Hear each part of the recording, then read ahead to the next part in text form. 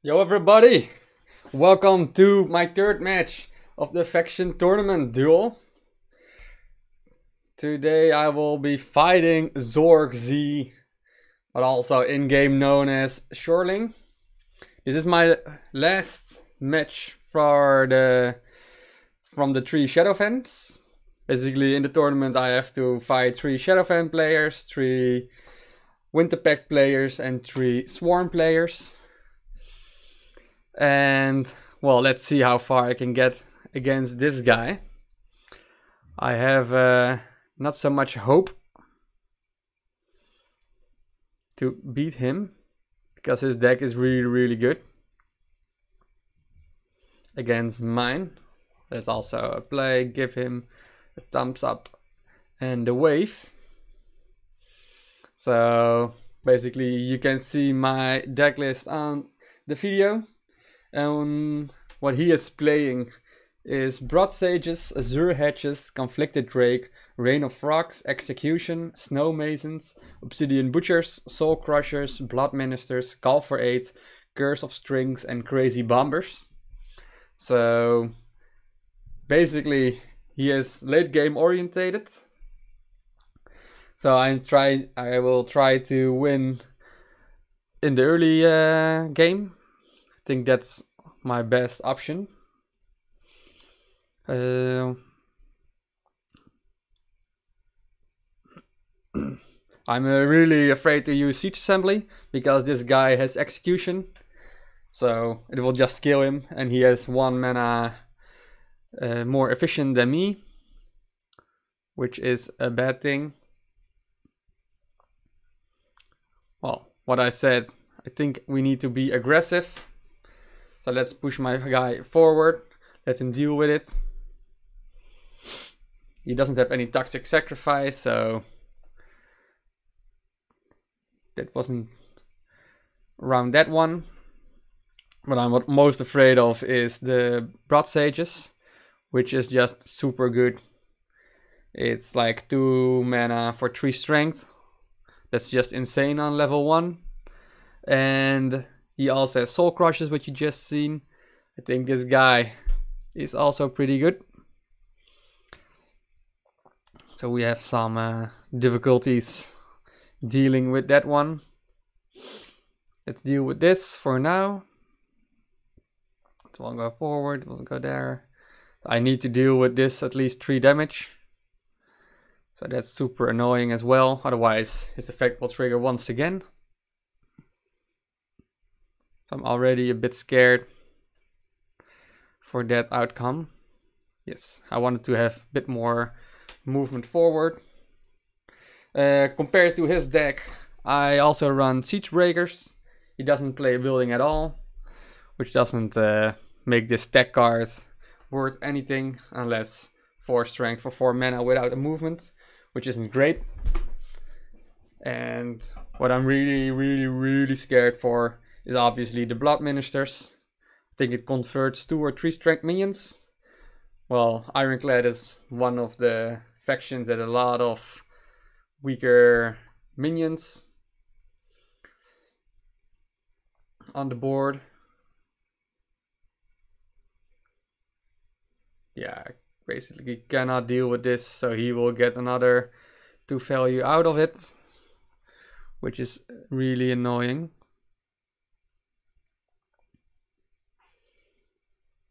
This doesn't help either. This one is pretty good. But not happy with it. And armed schemers will be uh, a really great target for Curse of Strings. Right, I have to make a move right now.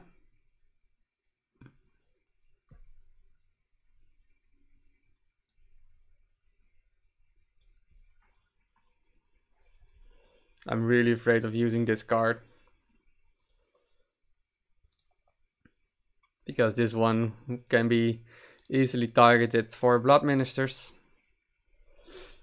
So, uh, yeah, basically everything in his deck will counter mine. And Obsidian Butchers is strong. He also use Snow Masons, which is really good.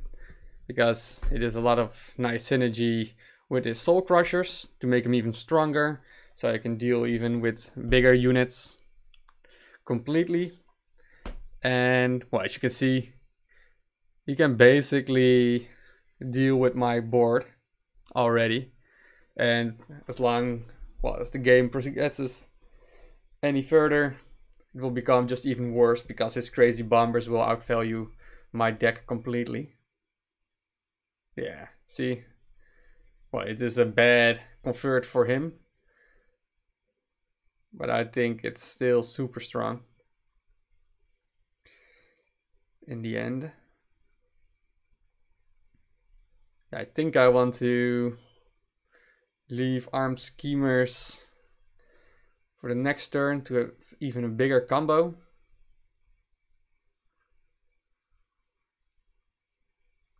Otherwise, I also want to soak up a lot of damage from these guys. So I need to deal with it. This is a one strength.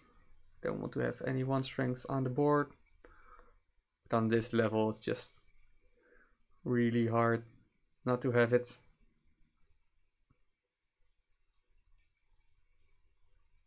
Nah.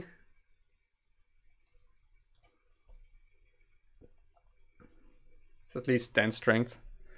He hasn't played any of his execution. So he might be cycling it because it isn't the best card. But it's super good against my siege assembly. So I'm a bit scary, scared of using this one. But it's next turn he also has 9 mana, so if I play it on my baseline, he can just crazy bomber it and everything dies. Obsidian Butcher's incoming, I guess. Uh, not even. Yeah, this is a weird combination, I think. Because he has Snow Mason, Snow Masons, and Rain of Frogs. But it's good, obviously, that it buffs his units. But it's also a bad thing, because you don't want your units uh, get more than one strength.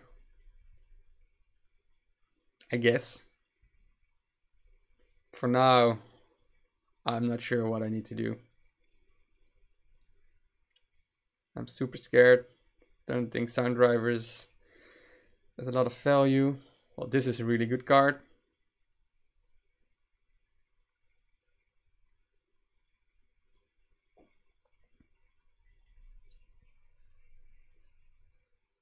It deals with a lot of them. And oh, let's clear it up for as good as possible. But this is again just crazy bomber here and deal seven damage. I don't know. I think uh, for now it goes fine. But just think about if he had another Blood Ministers. All these cards would be converted. It's a huge risk I'm taking at the moment. Well, nice play. Triggering it like that. Pretty smart move. I don't have any dragons, so spare dragonlings. It's not worth a lot.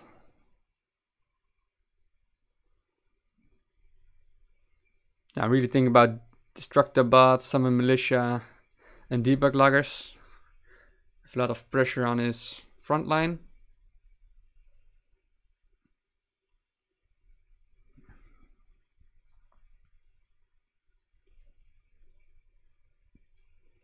Let's first do this one.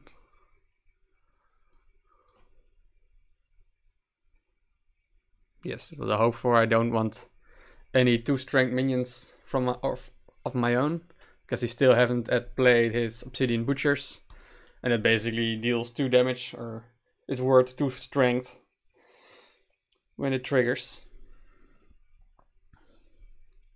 But he also has call for aid, right? So ah, I'm not sure.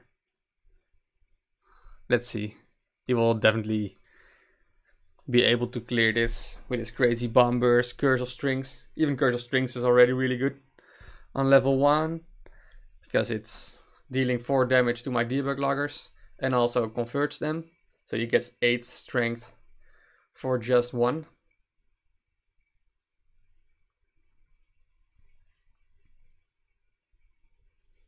Mm, it's way too expensive. Way too expensive. Yeah, this will be sucky for his Obsidian Butchers. I need to play this.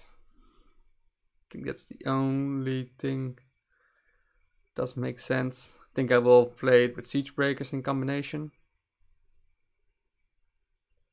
And then I will just think at that point I'm dead.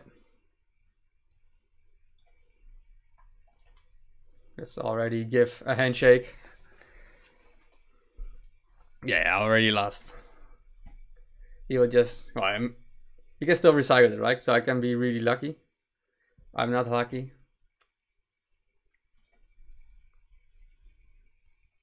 So, yes, that's it. I think this is the game. It's like overvaluing me already. Has seven more mana. All his cards are worth more than mine. It right here, right?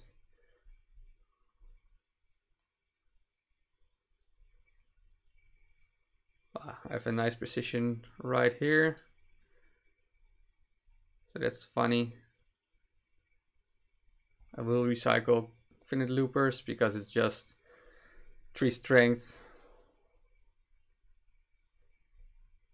Or should I be really ballsy?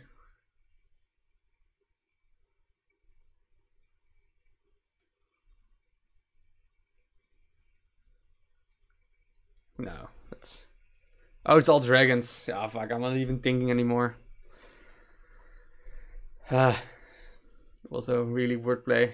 Yeah. Don't encounter a lot of dragons.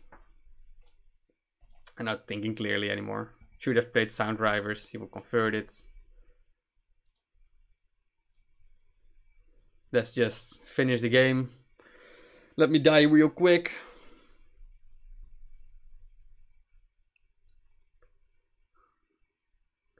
Already knew when I saw his deck list this really, really strong deck list. Oh, this isn't doing anything.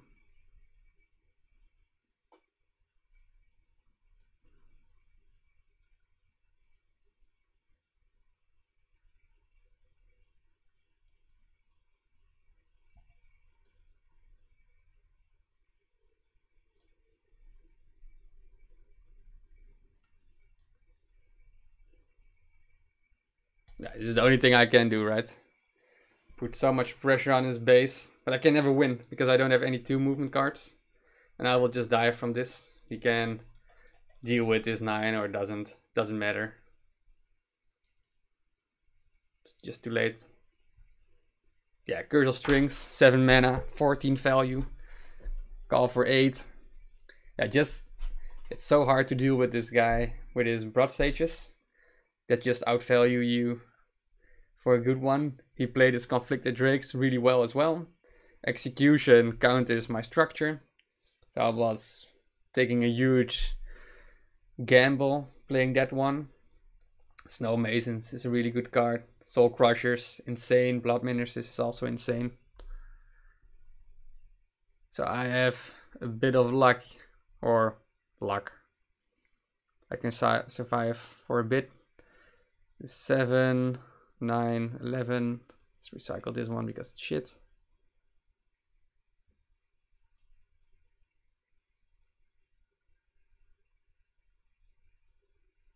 Well, this will at least uh,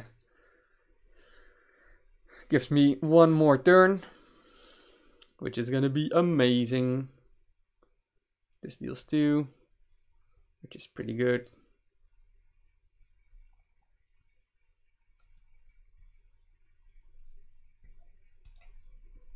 Yeah, he will uh, Blood Minister this run. Makes a big unit right here. Kills this one. GG. At least I did 2 damage on his base. He can also, uh, has his Obsidian Butchers right now, right? Just finish it off. Gains 3. Becomes 5 strength in total.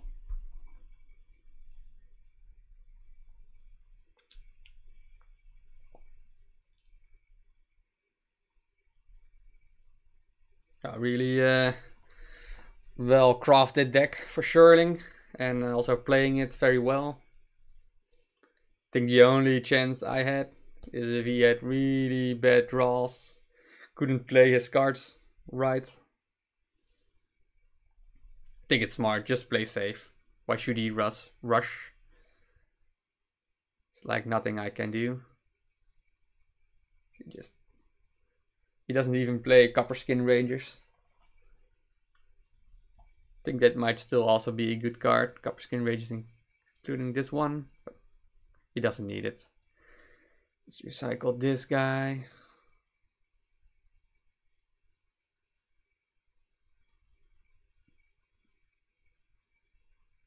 I think this might be good.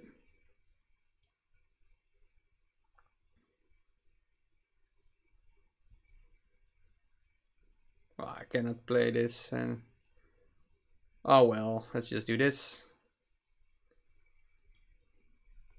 Survive a bit longer. Doesn't matter much. Oh, it's really nice that I get another armed schemers.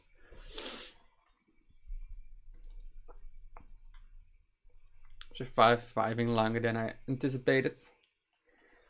Yeah, I think if he did not had any uh, execution, I might have played it if I was lucky enough and played my cards really well. I might have able to win with siege assembly by just uh, trying to let that card stay alive, counter his late game with multiple of siege assemblies, shooting everything every turn. I think that will be really uh, fun match to see. I think that uh, like he's outvaluing me, but I have every turn three random damage. See, even now he just plays it well. It's like nothing I can do when someone plays it. Plays his card like this. Building golems doesn't do shit. This one doesn't even do shit. I was hoping for conflicted drakes, maybe. Not sure. So this is 12. This is 14.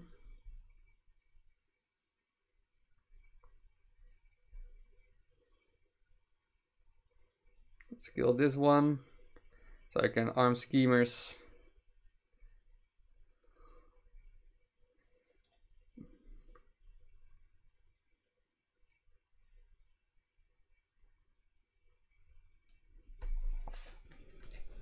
Well, at least he cannot deal with this one. Might have been playing it right here. Not sure. This can soak it up. At least if he played another card behind it, it shoots another volley.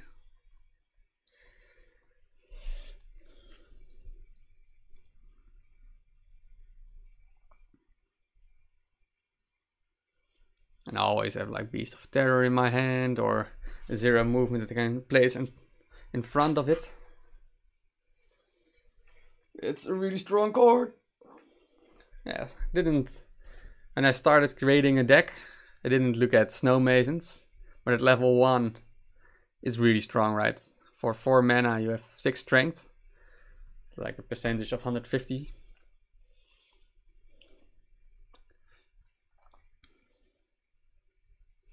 Let's see. Well, I at least get one of my uh, follies off which is fun. I need to deal with this, which is shitty. So basically this doesn't do anything. So let's recycle that one. This is four.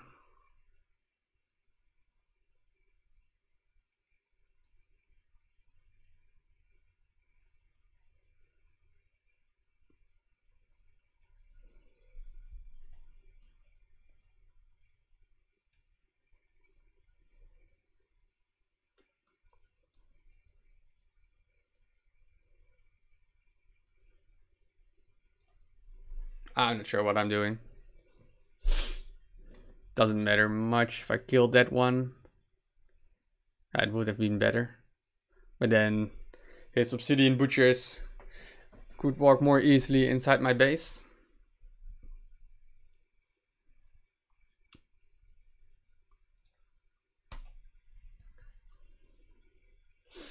And now he has at least...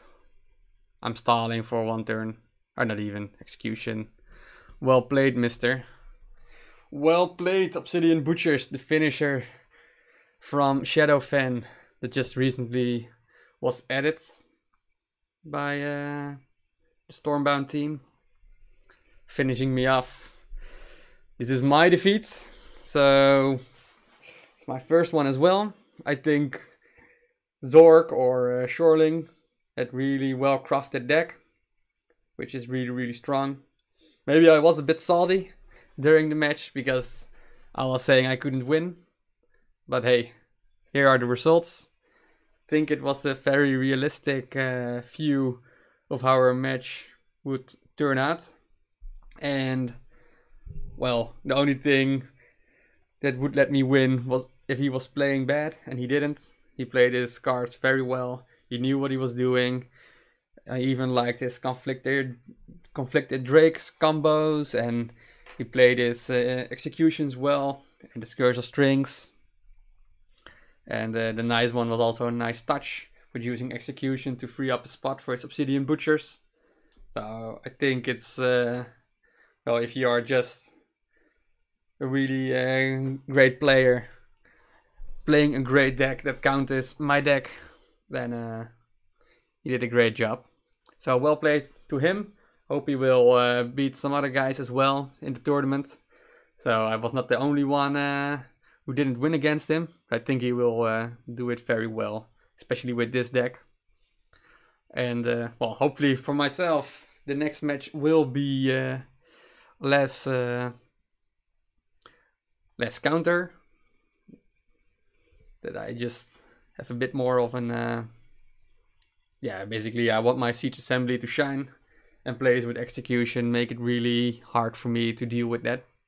So what I also was thinking, if I can do a deck change, was switching up my siege assembly for a Trueshot Post, which has one more HP or one more strength. So an execution won't kill it in, won't kill it directly. And maybe I need to think about a bit more an expensive deck because my mana curve is quite low. And while playing against these kind of decks and maybe my next opponents will have similar mana curve decks where it's just really hard for me to win. And I don't need to survive the early game.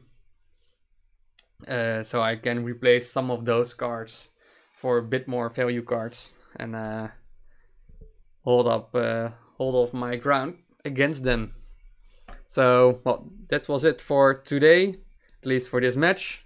Hope you enjoyed it and uh, learned from it how you can craft a well, yeah, how you can craft a really good Shadowfen deck. In my opinion, I think this, if I would play a Shadowfen deck, I won't change much of his deck list. So it's always easy to say, right? But I think his deck list is really good These the ones that I've seen from the Shadowfen faction, this one uh, makes complete sense and is utilizing a lot of value from the cards they have. So thank you guys for watching and see you in my next tournament from the faction match or just another video I uploaded. Thank you guys for watching. Later!